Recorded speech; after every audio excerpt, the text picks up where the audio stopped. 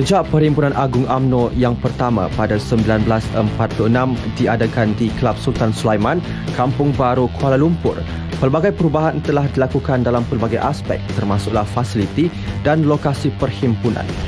Bermula dengan lokasi perhimpunan di Dewan Bahasa dan Pustaka DBP dan kemudiannya beralih ke Hotel Hilton, ahli-ahli AMNO akhirnya berhimpun di rumah AMNO sendiri iaitu di Pusat Dagangan Dunia Putra PWTC hingga kini bagi bekas Menteri Penerangan yang juga bekas Ketua Pengarang Utusan Malaysia, Tan Sri Zainuddin, kematangan ahli-ahli AMNO juga jelas kelihatan sepanjang usia penganjuran perhimpunannya.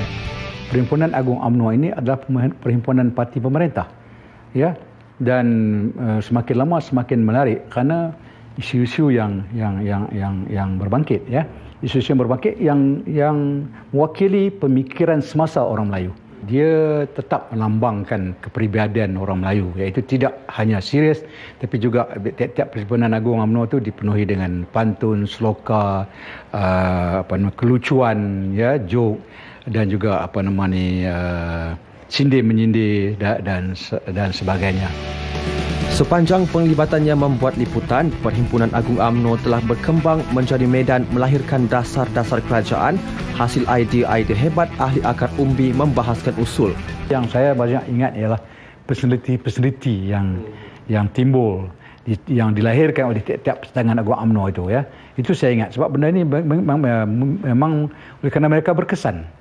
Ya, berkesan umpamanya macam Anwar Musa adalah seorang pembicara atau seorang pendebat yang baik. Dulu dalam dalam perhimpunan agung AMNO ni menjadi tempat curahan perasaan terutama dari segi sikap perkauman racial dan sebagainya.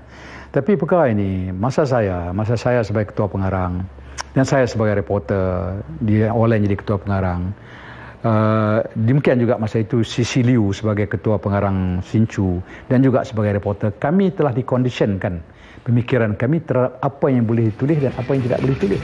Setelah peralihan enam pucuk pimpinan Presiden, cabaran dan halangan yang bakal ditempuh Datuk Seri Najib ketika ini bukan sedikit.